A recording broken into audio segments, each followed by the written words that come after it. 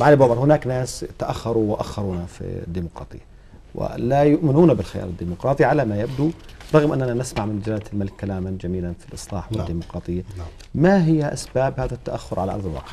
يا سيدي أسبابها بالإضافة لما تفضلت فيه الأخت عبلة أن قوى الجمود والمحافظة والدولة العميقة تسيطر على البلد بقبضة يعني رهيبة أنت يعني استخدام جلالة الملك لمصطلح التدرج يتم التلاعب فيه بشكل واضح.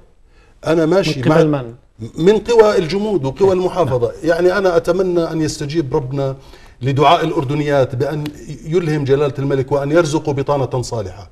اليوم أو بكرة لأنه ما في بطانة صالحة. البطانة اللي مأخوذة من البطن يا أخ مهند. طيب. هذه محافظة آه، ليست مع التقدم ليست مع الحداثة ليست مع الديمقراطية ليست مع التعددية السياسية. هذه القوى التي تهيمن على المجتمع الأردني هذه القوى التي لا تقبل شريكا وتقصي كل ما عداها.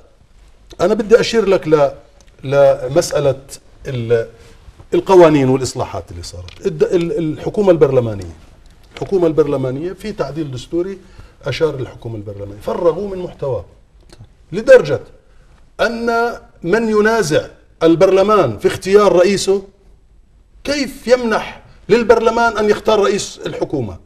رئيسه مش مخلينه.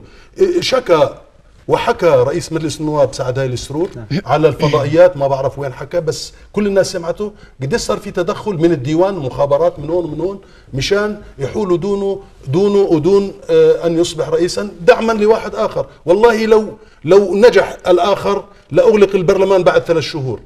قصة ما- ما بصير انت تجيب النخب هاي اللي بنحكي عنها القوى الاجتماعية بس الجديدة. هذا إنتاج المجتمع يعني لم هذه مش إنتاج المجتمع لا آه. يا سيدي. شو لا ال- النخب هذه لم ينتجها المجتمع. هذه نخب مزورة زوروا الانتخابات كما تم في الماضي تم الآن زوروا الانتخابات وصدروا نخب. النخب ما بتيجي أنت بتركب لواحد رجلين من خشب وأجنحة من من من من شمع وبتطلقه وبتقول له أنت صرت نخبة.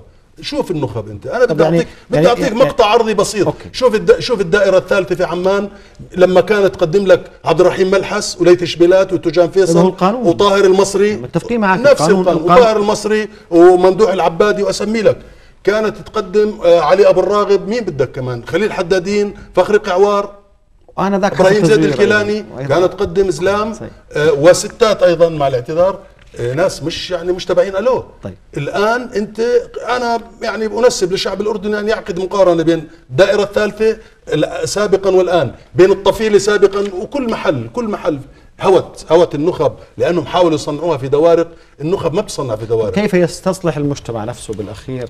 يعني هل يمكن المجتمع أن ينقذ نفسه في هذا الاتجاه؟ يا سيدي زي ما قالت معك أخت 30 عبلة ثانية. مجددا هي موازين قوى قوى الحراك اللي موجودة في الشارع شعارها الأساسي شعارها الأكبر مكافحة الفساد.